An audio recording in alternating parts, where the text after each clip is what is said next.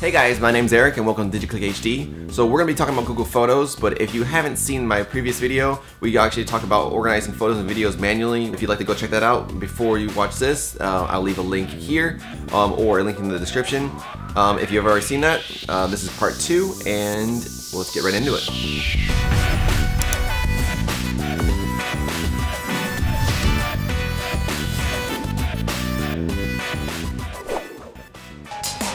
So I'm gonna quickly show you how to set up Google Photos and why I use it alongside of my way of organizing my photos and videos. So another reason I started backing up to Google Photos was because I took all this time to organize all my photos and videos in all this, you know, folders and file stuff. I have this whole 5 terabyte hard drive actually backed up, uh, a backup of it to another 5 terabyte hard drive because if one fails, I would lose everything. But then I started really thinking, I'm like, well, what if for some reason I lost both? I like, I really want to have another backup of everything because this is like my last 10, 12 years of my life. I have like 65,000 plus photos mixed with videos and it's just, you know, it's a crazy amount of data and I want to have all that because I don't know, it's just like precious memories to me. So I saw that Google Photos has unlimited storage. I'm like, all right, well, as long as it has unlimited storage, I will at least have a backup. It's not gonna be the full quality of what it exactly was, but their high quality is actually really nice. It's really good. And at least I have a copy of all of these memories. And even if I do lose a few of them, I have the majority of them. Again, this is another reason why I'm using this. It's unlimited storage. That's amazing. Okay, so to show you how to set up Google Photos, uh, go to your browser, type in Google Photos into the search, and on here you want to find, it might be the first one, but uh, go to apps, and here you want to download the desktop uploader. Once you click it, you download it, you'll set it up, it's pretty self-explanatory. I will leave a link in the description to this, and once you have this set up, and installed, you will get a window that will be similar to this one right here. This is Google Photos Photos uh, uh, preferences folder or preference window, and basically it's all all it's asking you is which folders that you want to back up. Since I set up my master folder with everything in there is organized, I am only backing up my master folder. You can set up as uh, multiple folders that you like and here you set your settings. With the high quality, you get the free unlimited storage.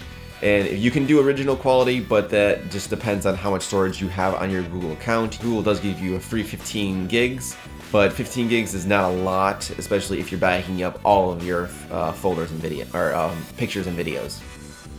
So again, I set mine to high quality. It's free unlimited storage, great visual quality at reduced file size the pictures do still look great. Once you have this set up, you click OK. So now basically every time I go through and I add any pictures to this folder here, oops, uh, this folder here, uh, it will automatically be backed up uh, to my Google Photos because it's set up in my preferences here and I really don't have to worry anymore. Um, it is great. Once you start backing it up, uh, for me, since I had so many photos and videos, it took me about three or four months actually of uploading. It won't take you that long depending on how many photos and videos you have and then what your internet connection speed is. But once you have this, you can go over to, you know, just type in Google Photos or you can go straight over to the little grid here. Click on this if you're using Chrome and click photos and it will show you now um, your photos in here. These are a couple little photos, screenshots, and snapshots I got uh, the other day. You can go to your pictures and here, you know, you can see it will show you by year.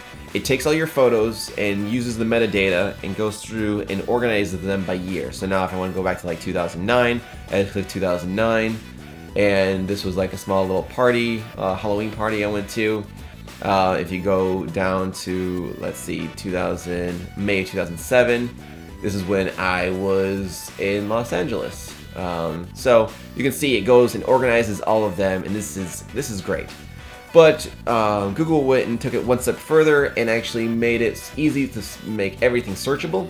So I'm just gonna bring this up so I don't have to show as many people. But um, cool thing here is it, you'll see all the faces here. You can click on the arrow and it will go through and show you it will go through here and show you people's faces. So I'm going to blur out my friends' names because I don't know if they would like to, them to be on here.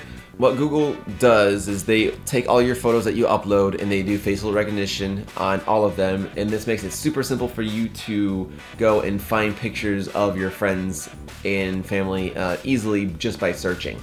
Say here, this is my nephew Xavier and um, so you can go through here and now it's going to go through and do facial recognition on videos and on and on pictures. And it will pick up even like like small little details even when they're in the background like this photo here.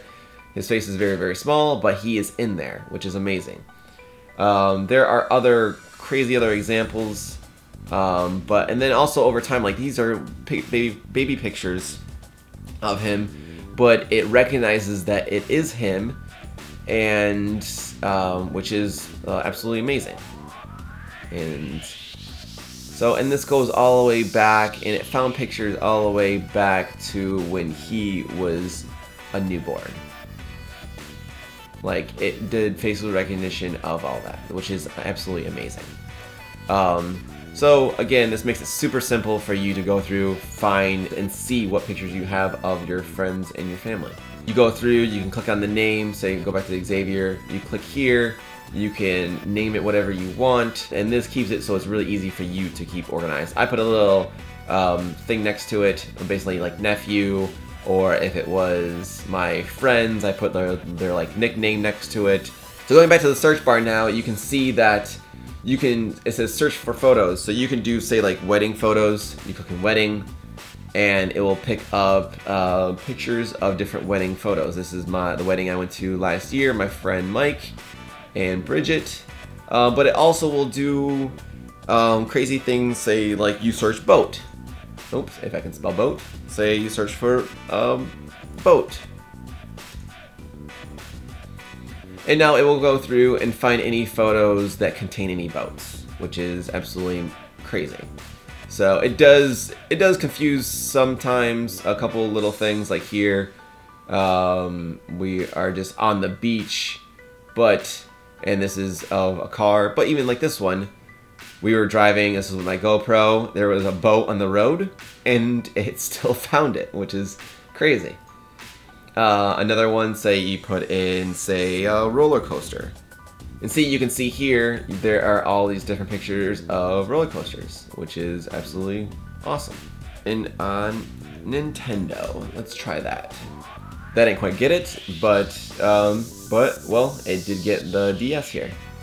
But again, you can search by just a bunch of different subjects or topics. You can also go through and search by what videos you have, uh, selfies, movies, uh, animations that you created. Uh, so, so, let's say like go to animations. So these are uh, a couple little fun things. These are like little gifts that uh, Google will make. Also, you can do like little movies and Google will go through and make little movies for you from your photos and your videos.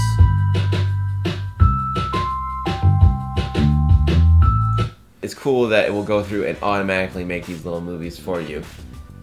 Uh, going back to here, also you can go up to uh, create and you can make an album, share an album, animations, collages, and then you can also go through uh, and check out the, the albums on the side here that you created. Like this was of a concert I did.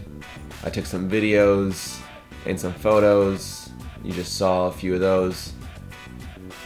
Also, there is the assistant up here, which is Google Assistant, and it will go through and make up little animations and movies, like I said before. Then also, it will say like rediscover, kind of like what Facebook does of like rediscovering a day uh, this is rediscover this day, and so you can click view photos. It'll take one picture at the top, but then you can go through and see, and here are some terrible photos. But it's cool because sometimes you see some cool photos that you don't remember. So that is the gist of Google Photos. Google Photos is also on your phone. I'll show you that now. Here it is. You go and you download the app. Just click on the app. Google Photos will start. And here, this will show you like yesterday. These are the photos that I took some screenshots. I got one, one little video clip. And um, But then you can also do search, like you said before, you can search by faces. Just like at the computer. You can also search, you know, again, the video, selfies, collages. Um, also here, this is where you set up your, um, which folders you want to set up. Um, this is your assistant. I'll go through, like I showed you before. This is exactly what you saw. It was the rediscover this day. You click on that, and you can see all the photos from that day. Here's another uh, five years ago. Discover this day. This was at my friend's house. It, it went through and made a little collage of that day, and, and it tells you. Let me go back. Shows you it was five years ago, and now you can click more photos or just a photo. and does that as the top, and then you can see all the little photos uh, from that day. Now, if you click on the Photos app, it will actually, you have access to all of the photos that you would like. So you see here, it says March, September, 2013, 2012, 2011, 2010, 9, 8, 7, 1999. These ones are probably from 2000. This is uh, one picture of my grandfather. This is me and my brother and sister at like Christmas of like 2000 pretty amazing app. You can see all the albums and stuff that you you made. Again, here's one. I was hanging out one night. It has all the videos and photos from that night all in one little thing. You can go through and you can name it anything you like, give the location, and you have it set there. So, pretty awesome. Uh, one thing I forgot to mention was going back into Google Photos.